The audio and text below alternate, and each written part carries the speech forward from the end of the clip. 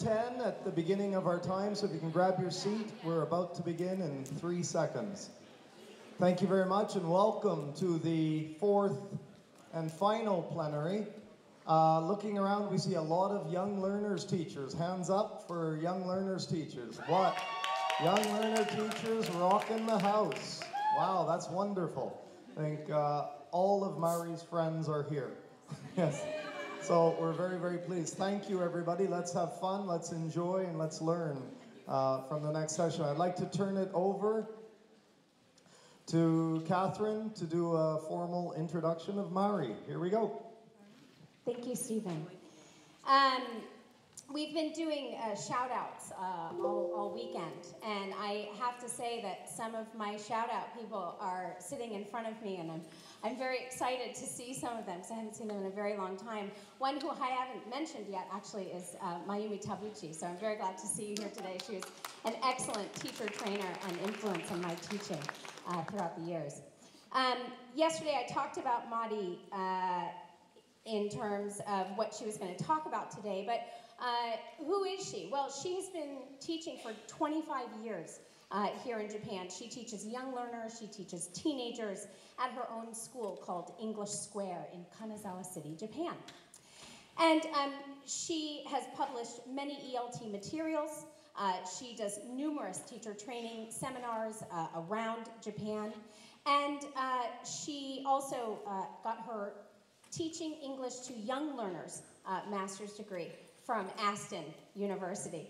Um, and she has been volunteering uh, within the young learner community uh, here at JALT uh, by writing a learner's column since 2015 uh, in the TLT. And uh, for me, uh, as I imagine for many of you here, Mari has been a really important role model. as a teacher, a presenter, and as a professional in the young learner field. She really shows you how to do it on many levels. Added to that, she is just a good human being.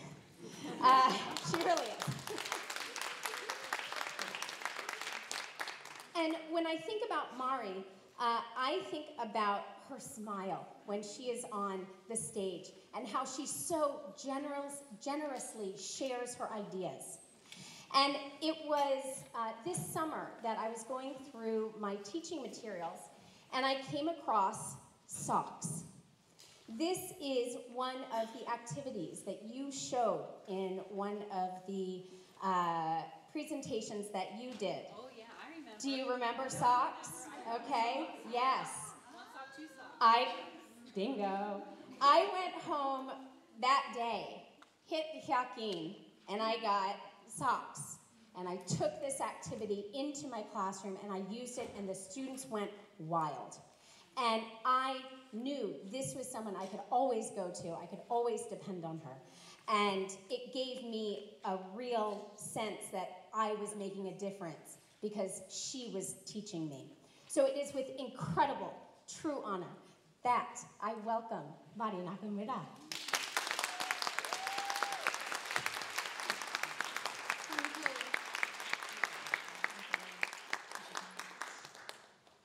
My God, too good. Where do I start? Uh, water bottle, I'm sorry, I drink lots of water. Hello, everybody. Hello. Hello. Um, I hope you had a good lunch. You did? Yes. Good, good. Um, you know, a shout out seems to be a thing here. So let me give you, all of you, a big shout out, especially the JALT officers and JALT volunteers and the pink shirt, nobody here? The, the pink shirt volunteers backstage here, yeah! So please give everybody big hand to everybody and for yourself. For yourself. Thank you very much. It is my great honor to share my experience as a teacher of young learners today with you. Thank you so much. I started teaching English 25 years ago in this beautiful city. Do you know where it is? It is Joetsu City in Niigata. I only had one class for young learners, and several private lessons for adult learners. And back then, I just imagined that, you know, teaching kids would be easier than teaching adults. I was wrong. Dead wrong. You know what I mean? If you're teaching kids. And it was a time before the internet. Can you imagine that? There was no teachers group on the internet. There was no social media. So I was pretty much on my own with David Paul's teaching book. Is your um, David here? Please give him applause, a big, big applause to him. Um, maybe he's not here, um, or maybe he's hiding somewhere in here. Um, that was pretty much it, you know, that I had back then. I didn't have anything else. I was pretty much on my own. And I opened my own school in 2001 in Kanazawa City. And I tried this project, a little exchange project with a public elementary school in Los Angeles. Um, just a little exchange, very, very simple. How did it go? It was a total flop, total failure. I failed my students, that, that's how I felt. Why? Because my students' reading and writing level was much lower than that of native speaking English learners in Los Angeles. And, you know, at that time, I felt so bad. My teacher efficacy hit the bottom then. But what's good about hitting the bottom is that you can just go up from there. That's what I felt. So uh, since then, I have attended numerous teachers' conferences, including JALT, of course, and um, eventually I earned a master's degree in teaching young learners from Aston University. In 2010, I attended TESOL con- convention in Boston. I felt fully inspired and energized by attending the conference. And on the final day, I had a chance to talk with a school teacher in the US. I, I, I remember that she was from Texas. And you know, naturally, we talk about our teaching background, and I told her that my classes meet once a week for one hour. The moment I said it, her eyes popped wide open, and she said, That's nothing. Did I feel defeated? Yeah, but only for a moment. Since then, I further improved my teaching by adding a strong literacy program while maintaining the length of the lessons around 60 minutes.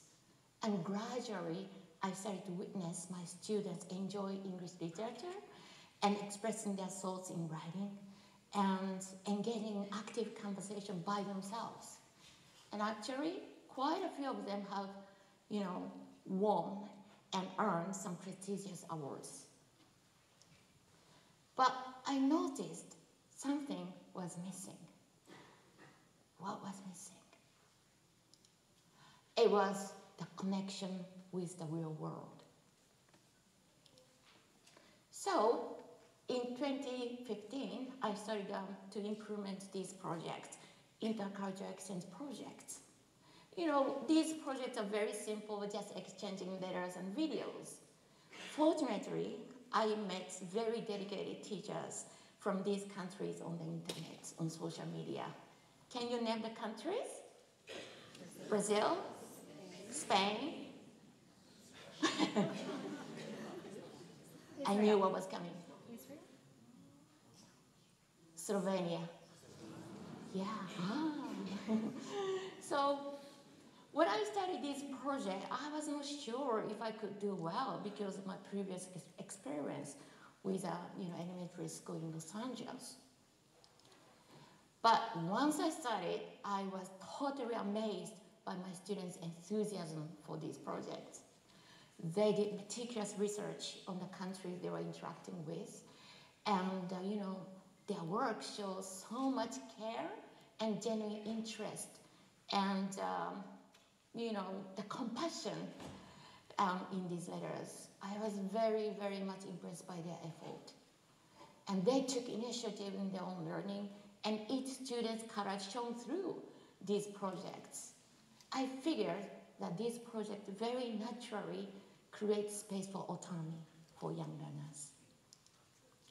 And witnessing the joy they express when they receive beautiful letters and messages and videos from their global peers, I was totally amazed and I felt so rewarded by the effort by them and by myself. And these projects usually finished after several exchanges of letters and videos. And every time I finished a project, my students begged me for more interaction with the same friend. So they wanted to do more. They didn't want their projects to finish. In October last year, I conducted a post-project um, post-project student survey to gain some insights into how these activities have you know, affected my students' motivation and multicultural awareness. And these are the, some of the findings. I'll, keep it simple here. Um, more than 25% of students said it showed some sort of multicultural awareness. And some of the comments are very interesting like this. One boy said, Brazilian children spend more time with their families than us. We are too busy. How true is it?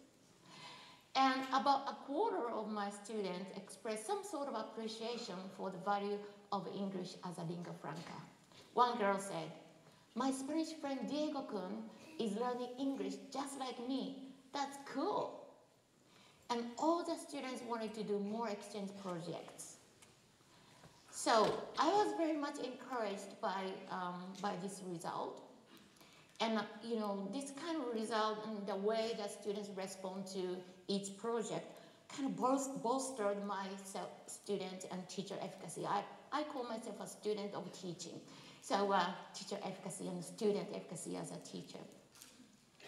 And uh, I try, I started to try and look for more varied ways to connect my students with uh, students in foreign, foreign countries. Since then, we've done this uh, project with these countries. Um, can you name the countries again? Spain, Israel, Argentina. Uruguay, Uruguay, and the States, and Turkey. All right. And I will now show you three different types of projects from these five. The first one is a flat kids project with a public school in Spain. In November last year, I started this project with a very dedicated teacher in Spain. I was very fortunate to see her on the internet.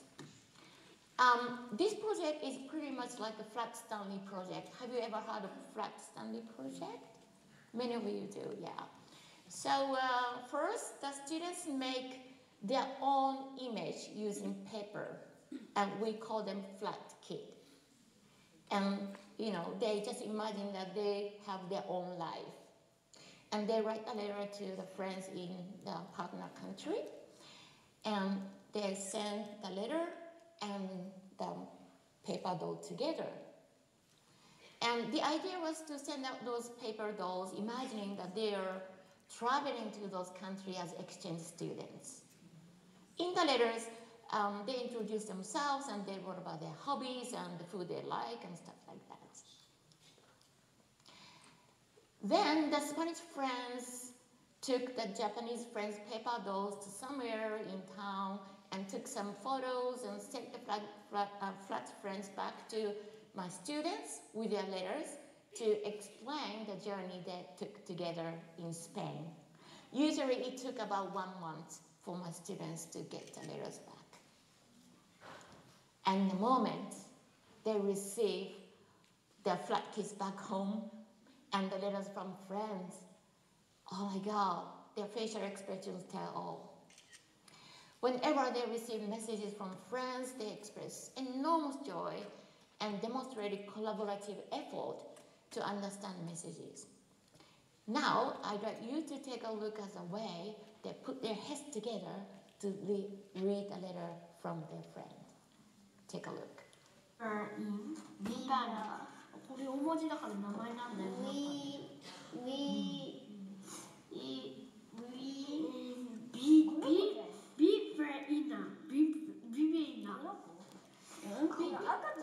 Baby, baby. baby.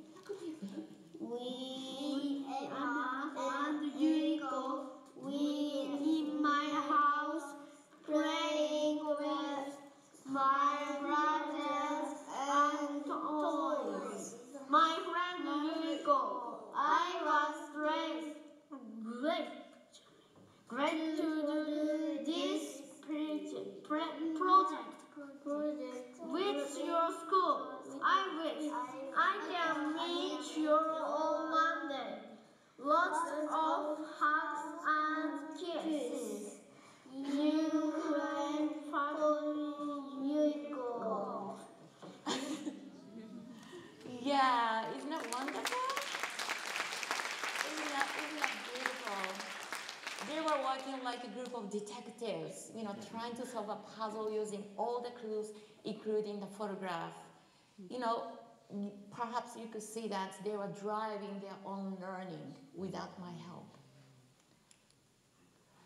And in the same way, my students received the flat kids and the letters from their friends in Spain.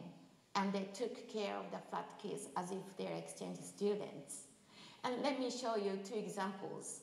Aiko is a, was a fourth grader, and um, she took the friend Anton to the beach, and she explained the reason.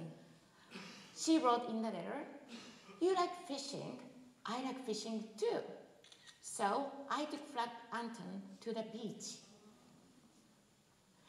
And you can see Issei. Issei came back to my class uh, with a letter and the flat, uh, flat Nico, and he rushed into my classroom and he said, Mari, Mari sensei, I fed Nico-chan gold leaf ice cream because he likes ice cream. He said he fed ice cream to the dog. So what we see here is a deep emotional involvement and personal connection.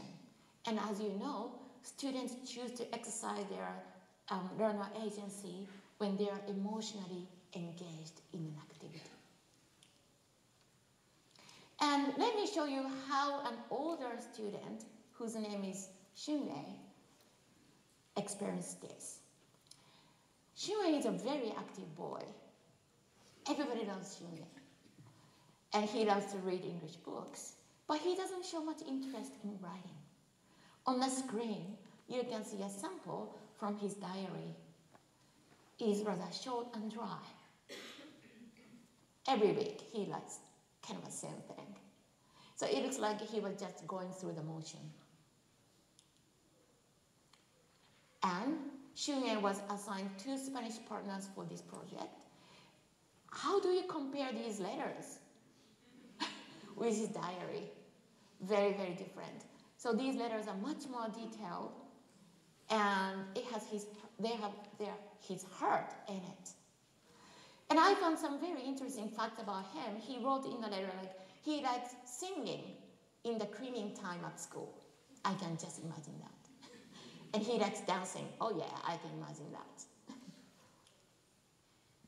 and he got two flat kids from Spain. One is Nuria, there's a girl. The other is Diego, there's a boy. And what you can see here is a letter covers that Shunrei created for these two friends. I was so surprised that he cared to use different colors for the letters, for boys and the girl. And he added the polka dots for the girl. And I asked, I asked him why. And he said, yeah, I just thought that she would love something kawaii. and here's the inside of the letter. Letter to the girl. He wrote, I went to 21st Century Museum with my father, mother, and you. It's because you like art. Yeah, she wrote that she liked art in her letter. You can see the little doll there. Flat Nuria in the picture. Mm-hmm. And here's a letter to Diego. He wrote, You play soccer. I play soccer too. What's your soccer position? And he took a picture with uh, his soccer uniform. Can you see the little Diego standing on the uniform? Yeah, mm-hmm. and the ball, his ball. So what we see here is his genuine thoughts for his friends, and in initiative and conscientiousness. He really cared about his friends. I told him that I was very much impressed by his effort, and this is what he said. How can I let my, my friends down? That's what he said. Maybe he can let down me, but not his friends. to examine the student's sense of agency while working on this project, I conducted a post-project survey with 44 students. This questionnaire was designed referring to the indices presented in the influence of teaching on students' engagement, mindset, and agency report published by the Achievement Gap Initiative at Harvard University, Oh, that is mouthful. the key elements associated with learner agency are happiness, punctuality, conscientiousness, good conduct, help seeking, satisfaction, and mastery orientation. And for each statement shown here, the students were given three choices to choose from yes, no, and not sure. And the numbers on the right side show um, the number or the percentage of the students who responded with yes to the presented statements. Yeah, of course, I acknowledge that this is a really small scale classroom research, and you know, the kids are especially eager to please the teacher, so the results might be a little biased. But the result was overwhelmingly positive and matched with my class, classroom observation. So it kind of gave me the sense of reassurance. So, and in the survey, I asked the students what sort of project they wanted to do, and some of them showed interest in online activities. So, I started an online intercultural exchange project with my teenage students a year ago. Now, I have to give a big shout out to Chiuki. Chiuki there. Thank you very much for you know introducing the teacher Howard, Howard Jones to me. Um, Howard is a teacher um, at art school in Israel. Um, so we did an interaction, we, we did an exchange project online. It was the first time for me. I'm not sure if it was not, it was going well or not, but anyway, I, you know, I thought, okay, I'll give it a try. So at first, my students and the students in Israel um, exchange project using exchange uh, exchange messages through the text on the blog, which uh, Howard Jones made for us. And it lasted about one month, and then all the students on both sides read a story, short story, written by an Israeli author. And my students wrote very serious book reports about the short story and put them up on this blog site. Each entry, each writing was about 300 words. That is what my students did. Now, take a look at the video message from Israeli students on the same book. Okay, video report. Here we go. Hello, today we're at the scene with the 10th grade of Rhodes School of Arts in Haifa. This very special class is reading a story called A Summer's Reading. We're here at the scene with the class. We're going to interview them now. Shai, what do you think about the story? Uh, first of all, hi Marco, and I think it's the most boring story I've ever read in my life, and I read a lot of them. Thank you for your honesty. or, uh, um, do you relate to one of the characters? Um, yeah, I relate to George because he's really lazy and he's a dropout, which I aspire to be. Go on. What do you have to say about the story? Uh, the story is nice. I don't know, like Edgar, Edgar Cayce is not that good of a writer, in my opinion. Thank you, Devon. And last but not least, Oh, oops, sorry. Oh. Oops. Sorry, what's going on? Um, does it go backward? Sorry.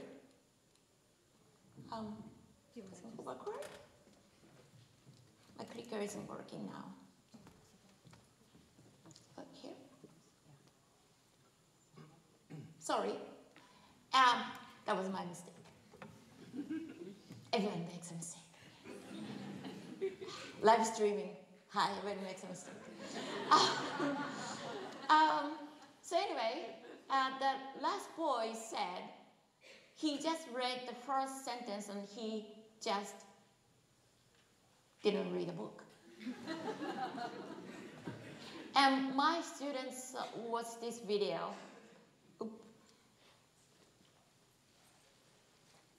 And what's your impression of this? Very honest, brutally honest for the teacher. And my students said, What? Is it okay to be so casual? And I said, yeah, it is okay if you want to. um, and they said they wanted to make something casual. But unfortunately, that was the last lesson for this project. You know, always the classroom reality kicks in. So I am, my students had already prepared some very serious goodbye message that was about Japanese traditional culture. So they had already prepared a speech. Each of them had prepared a speech at home. So I said, okay, I'll give you now 15 minutes to discuss. And uh, they decided to put the speeches together and make it fun somehow in 15 minutes. And you're gonna see what they have made. I will just show the first part.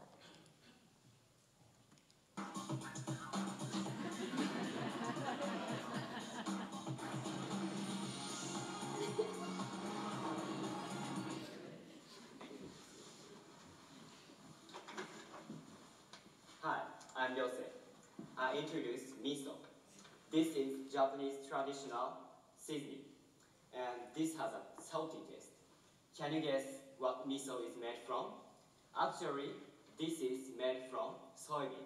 So we call miso soybean paste in English. And miso is uh, used for a lot of dishes. And the most uh, famous one is miso soup. It just me- uh, melt miso in boiled water and put some ingredients in it. And it's very easy to make and it's so delicious. So all, uh, almost all of Japanese it every day. Yeah, it was kind of messy. It was kind of messy.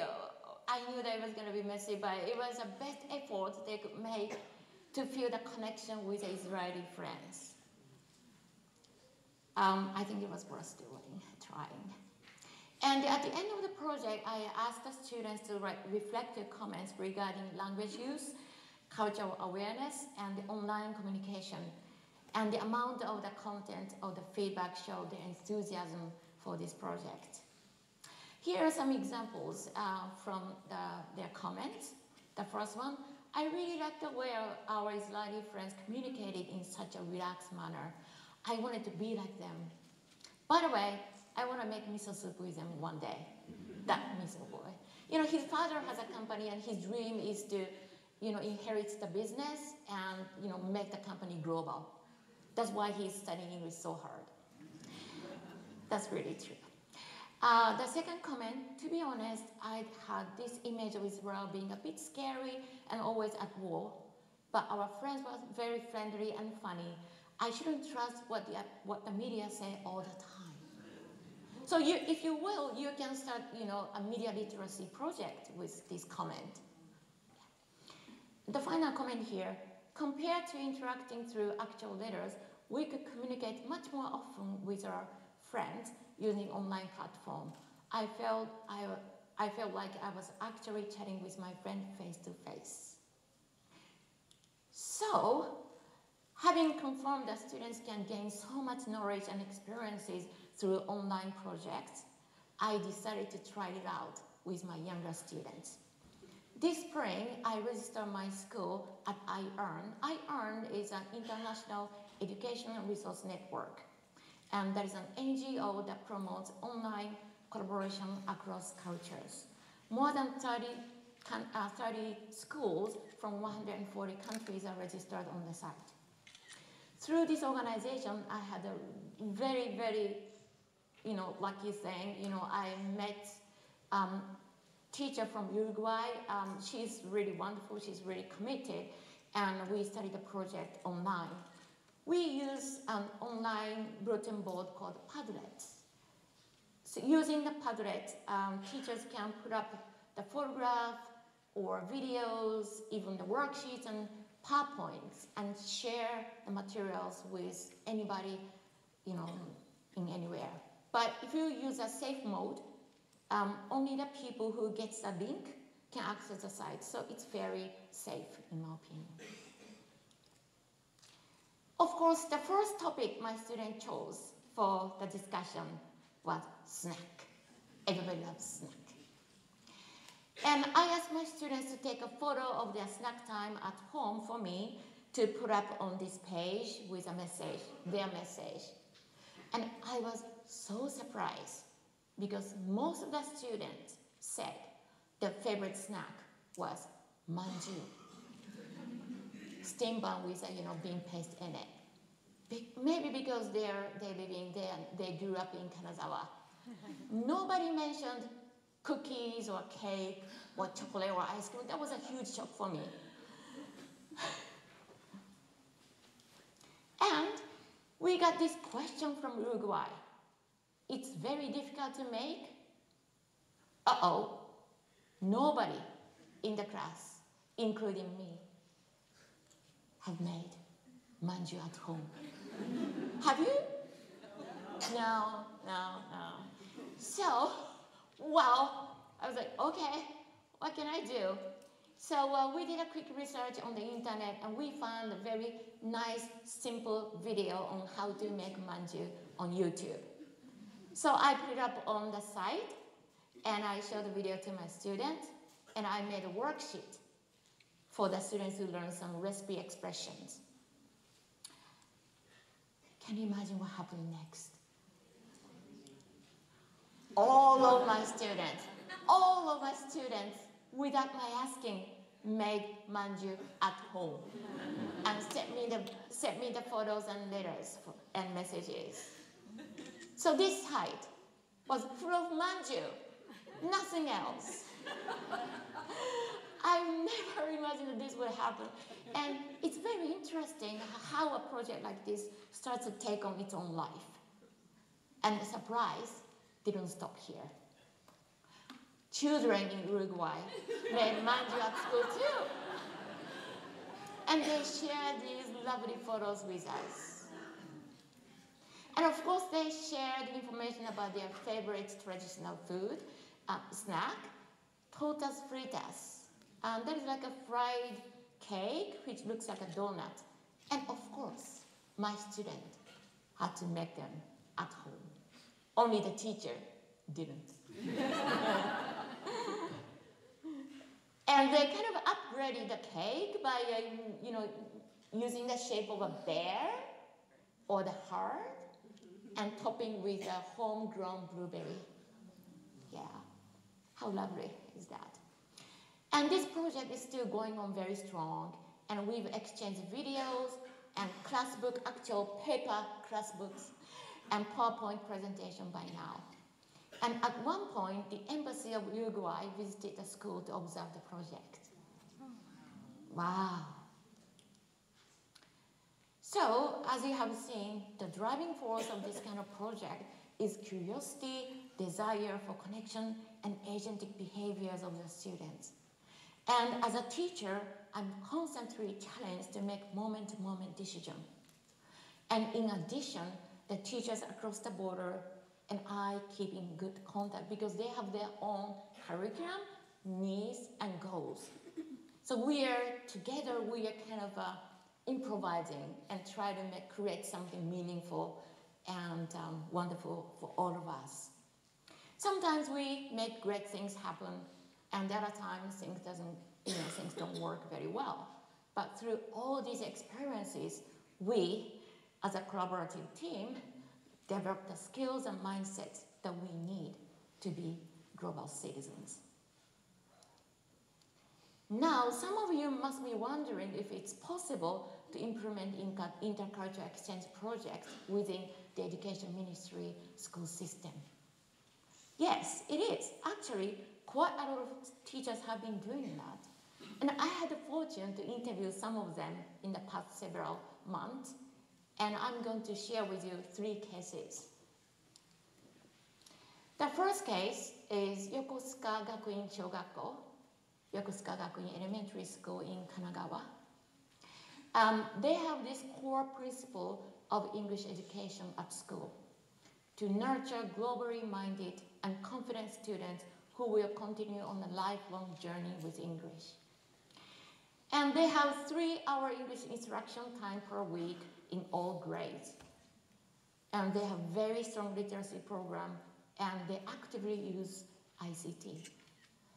And what emerged from the interview with the wonderful teacher here, Miss Abe Shino, is that passion for global education at this school is shared by all the teachers and principals and everybody at this school. And they work towards the same goal, helping each other and supporting each other. I think that is a key to success at this school. And here is one of the projects they have done so far. That is a teddy bear project, travel teddy project. And this project is organized by iEarn that I mentioned before. Um, this is pretty much like a flight, um, uh, flat kids or flat Stanley. They exchange teddy bears as exchange students and take photos and write journals and they exchange the information through the online platform. They've done this project with several countries, including Australia, India, and Germany. And grade 5 and 6 students work on the Flat Stanley project. Um, they have done this project with more than 20 countries. Amazing, isn't it? And the next case is an ongoing effort at Kanazawa's public schools, public elementary schools. Um, English education has been done at my, my, in my city since 2006 as a special deregulated area for English education. Um, you know, their intercultural action projects have been coordinated by Professor Shimizu Kazuhisa at Kanazawa Seiryo University. And I've done an interview with him and I figure that he has been providing lots of support, continuing support to the school teachers, for example, like meeting, workshops, and, and casual, you know, meetup. And uh, I think, I believe that that is a key for them to keep on going with the project. And almost all the costs have been covered by uh, Professor Shimizu's research grants. One of, the, one of the projects they have done is Art Mile project. Uh, in this project, the students on both sides of the countries create one large mural. Students in one country make half of the mural. The students in the other country make the other half of the mural. And during the production stage, they interact a lot using ICT. And at the end, they create one large mural. According to Professor Shimizu, children show you know, incredible ingenuity and collaborative skills when the communication is almost broken down between the teachers. and that, yeah, those things happen. Everybody makes mistakes, right? so those things happen. And by seeing the students working so hard to help the teachers, the teachers are encouraged and motivated and inspired. And that gives energy to the teachers. And they have been doing the TDBA project. And this academic year, four public schools are doing this project with an elementary schools in Taiwan. And I was so amazed about, at the drive that Mr. Shimizu had for this project. So I asked him, you know, where does the passion come from? And he said this, children who have engaged in projects like these will not think of starting a war with a country they have formed a personal connection to. Powerful, isn't it? Yeah. A big applause to him. And the final case um, is uh, the project that has been done at Municipal Kikuzato High School in Nagoya. Hey, Nagoya people, you should be proud of, proud of this school and a teacher who has been managing this project. This project. So um, Ms. Nishio Arata have been, has been um, conducting the online discussion project um, in the last several years. It's very interesting. Her approach is very interesting. Uh, she applied for a micro grant offered by the US Embassy and she got the support of 50,000 yen. And she used a fund to set up the Wi-Fi connection and to purchase the ICT equipment to do this project. And her creative approaches have been really amazing to me, you know, and um, let me now show you how she does it. Just one of the many projects that she has been actually doing. So here is the online discussion uh, she has conducted in 2018 with a general course students and two former exchange students in Finland and Switzerland. You know, the third grade students at senior high school, they have enormous pressure to do well at the entrance exam for university. So how did she motivate those students to get engaged in this project? First, she chose a topic, gender equality, and told the students that gender equality is one of the most often discussed subjects in entrance exams. Isn't that really smart? yeah, and also she used the passage from her textbook. In the first lesson, um, the students read the passage about gender equality in the textbook, and they did a discussion and reading comprehension. In the second lesson, they engaged in in-class discussion on gender inequality, inequality in Japan. Maybe they had a lot to talk about. and in the final lesson, finally, you are laughing, sorry. Am I funny? As usual, sorry. It's really true, yeah. And in the third lesson, um, finally, in the third lesson, students got engaged in online discussion with the students in Finland and Switzerland. Yeah. So I was very much impressed and inspired by Ms. Nishio's ingenuity in coordinating these kind of uh, projects in her own, you know, teaching context with a lot of constraints. So I asked her the secret of success during the interview, and here's what she said. Reach out for help, and the doors will open. Yeah, indeed. To make collaboration across borders happen, we first need to reach out and collaborate with colleagues in and around our own community. Now, everybody, look around.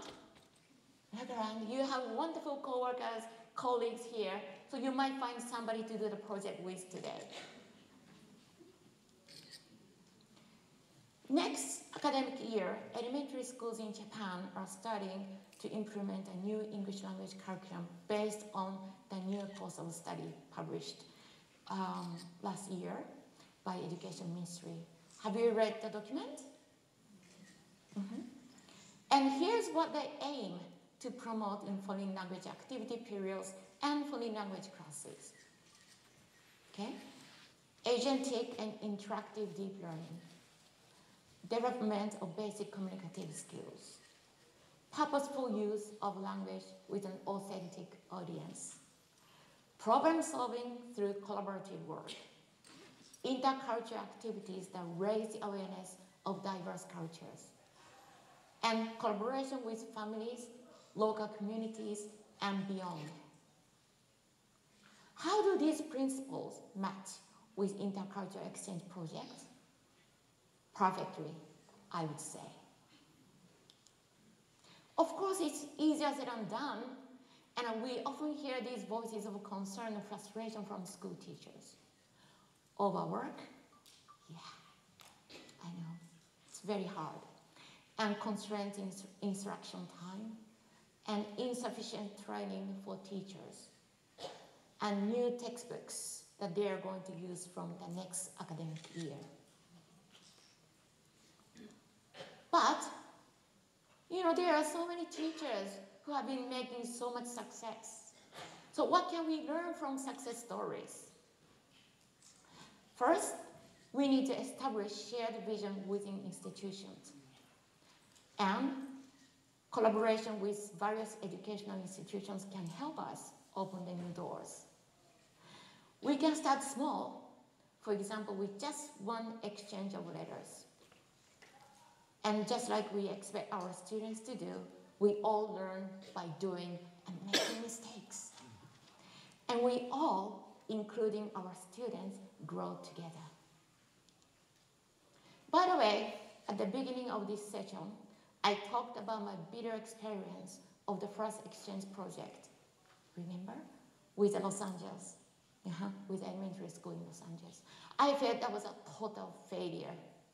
But last year, one of the students who worked on this project when she was six years old visited me with a souvenir from Sweden and she gave me this note.